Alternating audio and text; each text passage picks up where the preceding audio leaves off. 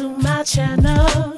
Hey yo, hey yo, listen up, listen up, yeah. Hey yo, hey yo, hey yo, the wireless woman. You in charge of the girls, right? I am in charge of the girls. Are you in charge of the girls? I am in charge of the girls. Okay. All right. Hey yo, hey yo, hey yo, Wi-Fi's. Welcome back to yet another underground transmission of the wireless woman. Go ahead and do me that big favor on your way in and like this video. Why? Because when you like it, well, I love it. And if you haven't already, make sure you subscribe to this channel.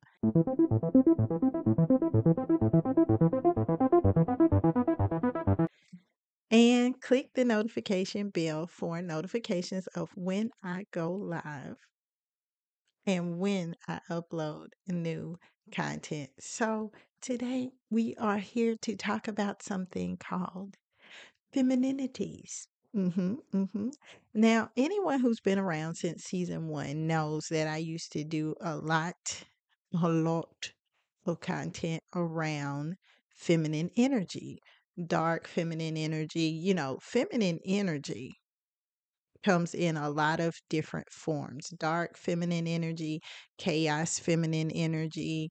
Yeah, it gets complex. But when we look at feminine energy as a social construct, well, now we've got to look at it under a whole different lens. So, listen, there is inherent physical power in masculinity, and there is also implied intuitive power in feminine energy.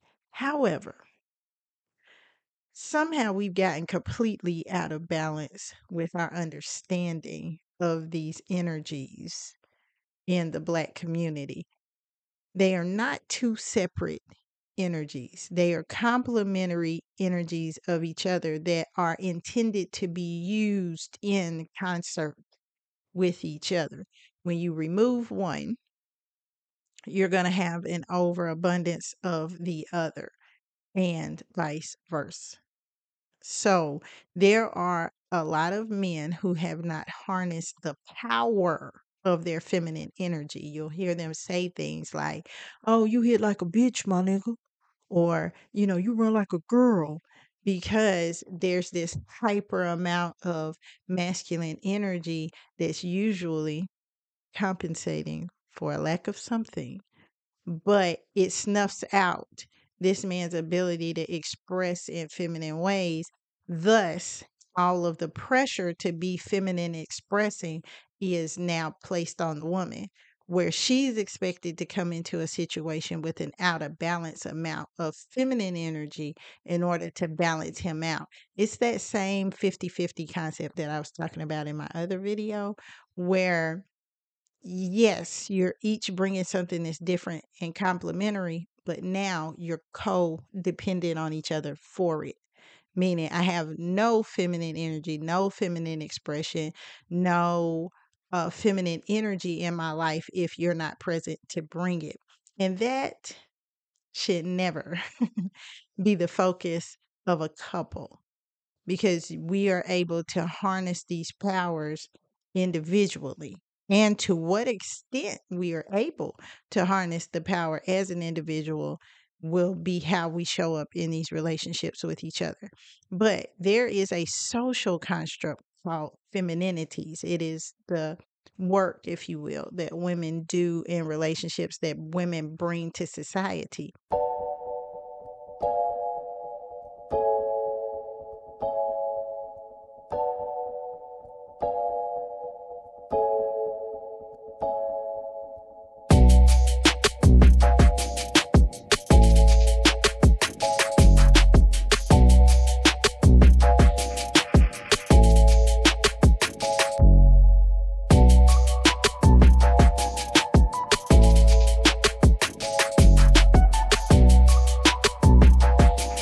And femininities are considered social currency.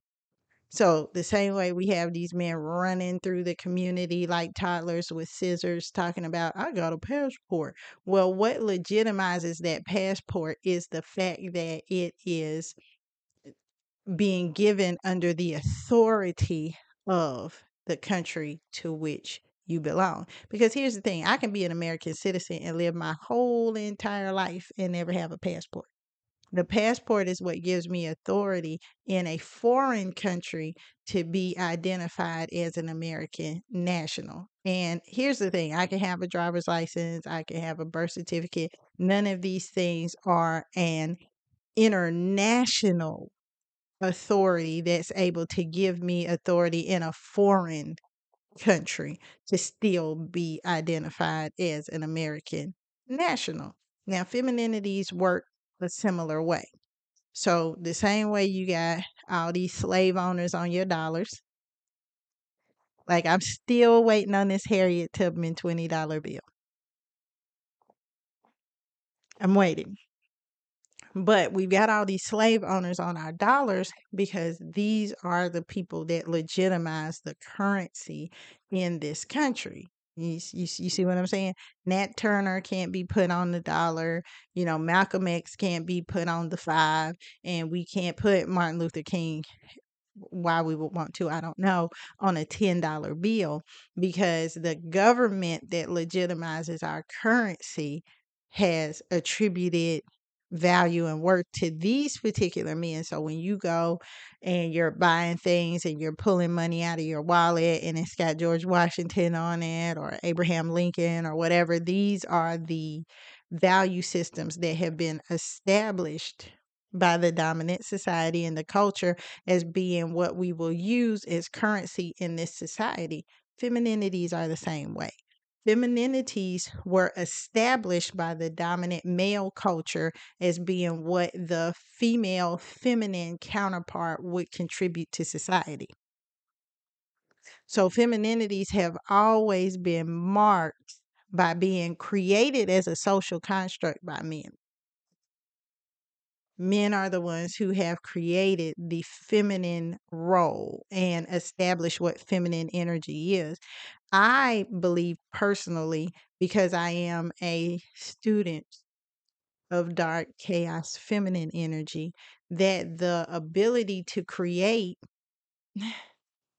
like y'all have to understand sometimes I get frustrated because this was what Iyanla Vanzant was actually talking about in her interview with Eboni K. Williams that didn't end up being what we brought from the interview because of a catty, petty soundbite. But what she was saying, which is actually true, is that women have creative energy.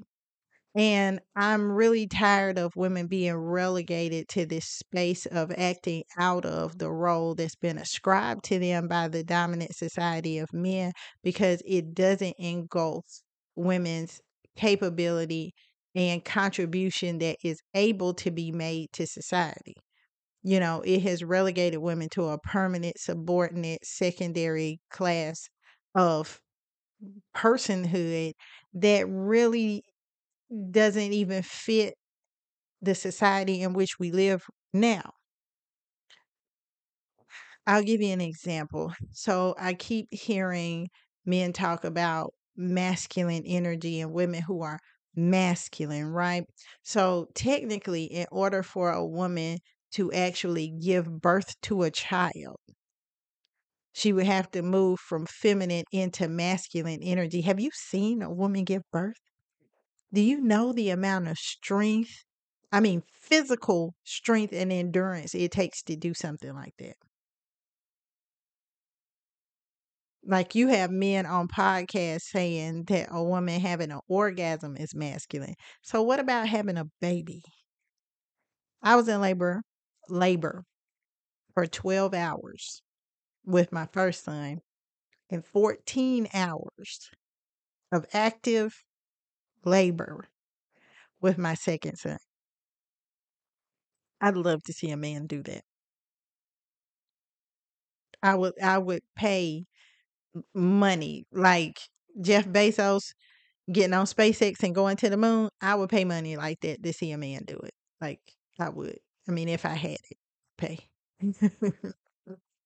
but a lot of the work, the labor that women contribute to the household could definitely be considered masculine. If men want us in our feminine energy to the level that they say they do, why would we be doing housework?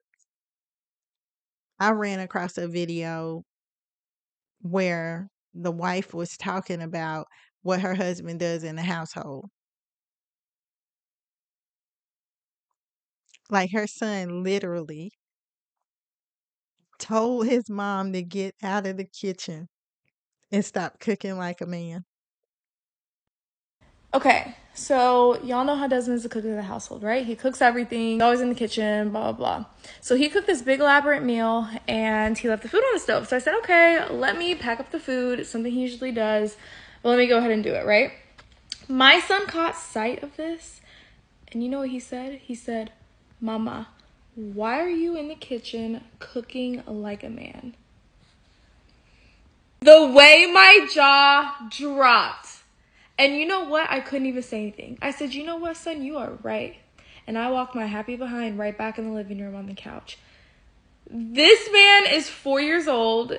Like, he has no idea. I am not mad at it. I'm not mad at it.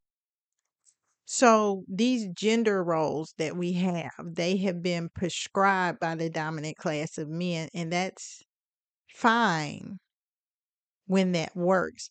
But the problem is when we come back in as women and say, okay, in exchange for these femininities, this is what we expect. If I go into a store with a hundred dollars and I give to the clerk a hundred dollars, I expect in return for that hundred dollars a certain amount of merchandise. I only came into that store with money for the purpose of exchanging it for something else. So we cannot have inflation in the current in the social currency that women use to enact power because the point is not for women to be powerless unless I miss something. The point is supposed to be for women to use femininities, feminine energy, the social currency that's been prescribed to women to use in order to exchange it for masculinities, the expected gender performance of men.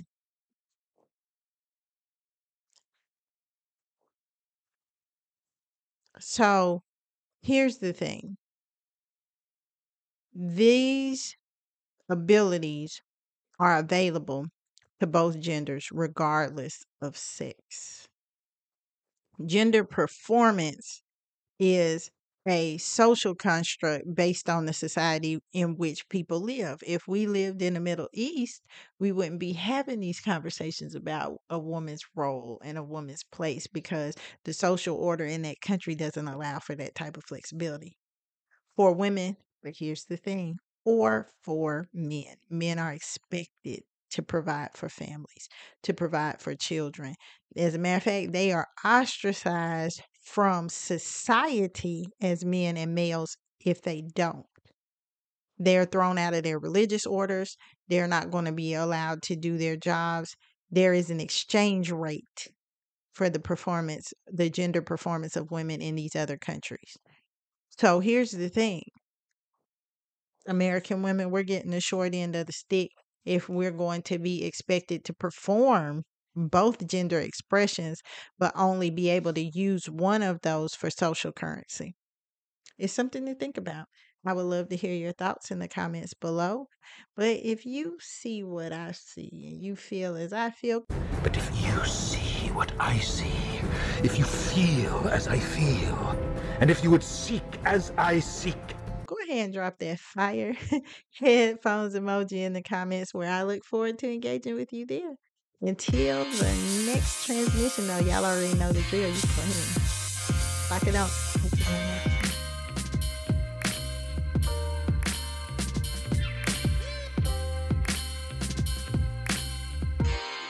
Section leaders, what is our concept? One band, one sound.